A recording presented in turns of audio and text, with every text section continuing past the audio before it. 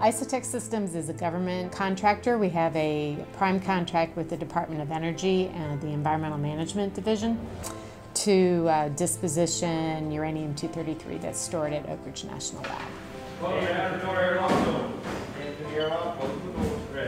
A couple years ago, a, a, private entity called TerraPower came forward and approached the Department of Energy to see if they could get thorium-229 extracted from the uranium-233 material prior to the ultimate disposal. It's important to extract thorium from our uranium-233 because thorium-229 only comes from uranium-233 and since by and large the world's supply of uranium-233 is stored here, once this material is dispositioned there will be no more thorium-229 available.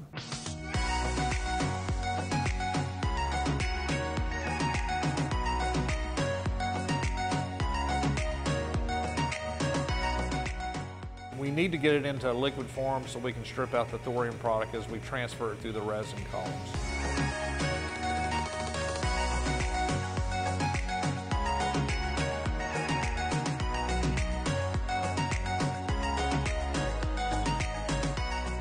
The thorium will adhere to the thorium column and then once that runs through both columns we have a, a collection container at the backside of the process that will collect that material.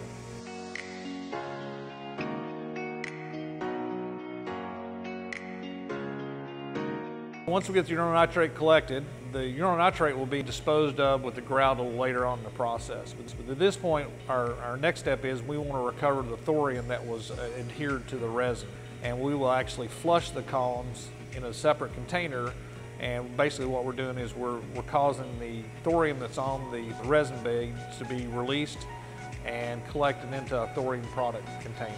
So we'll go ahead and dry that product. Uh, it's very difficult to ship liquid radioactive samples, so what we will do is we'll take the, the thorium product solution, evaporate it through a rotary evaporating glove box 3, and then that material will be weighed and it will be bagged out and it will be prepped for shipment.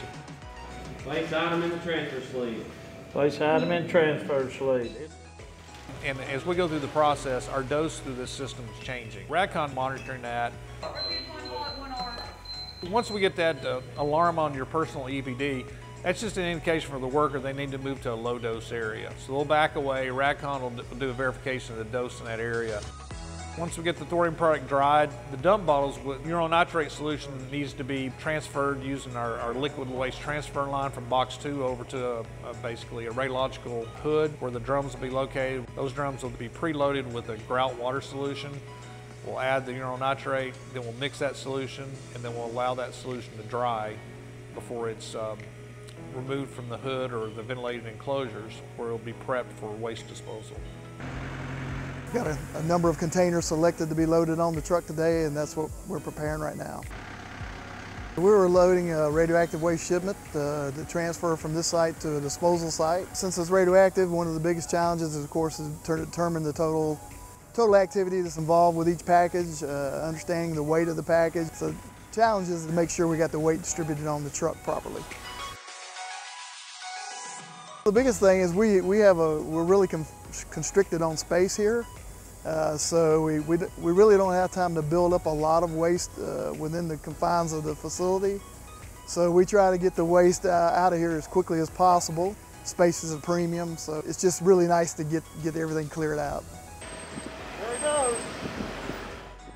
Later this year, we'll actually move the operation into hot cells where we can bring over higher dose material needs remote access to process it safely and we'll be able to triple the amount of processing that we can currently do today.